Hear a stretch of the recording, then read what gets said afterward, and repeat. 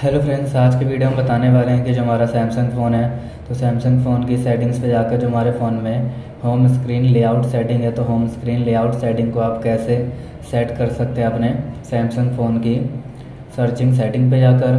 तो video start करने से पहले हमारे चैनल को लाइक करें सब्सक्राइब करें और साथ में ही बेल आइकन दबाने ना भूलें। तो वीडियो स्टार्ट कर लेते हैं। तो आप देख सकते हैं कि जो फ़ोन के आइकन्स हैं, इस तरीके से शो हो रहे हैं। जो हमारे फ़ोन के ऑल आइकन्स हैं। तो सिर्फ़ में से आपको सेटिंग्स आइकन पे क्लिक कर देना है।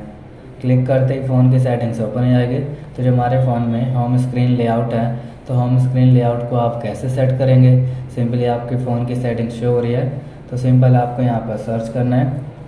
होम स्क्रीन लेआउट सर्च करती होम स्क्रीन लेआउट सेटिंग्स यहाँ पर शो हो जाएगी। उसको ओपन कर लेंगे ओपन करते यहाँ से आप होम स्क्रीन लेआउट सेटिंग को सेट कर सकते हैं। तो जैसे होम एंड ऐप स्क्रीन को यहाँ से अप्लाई कर सकते हैं। कुछ इस तरीके से हमारे जो ऐप्स हैं शो करेंगे।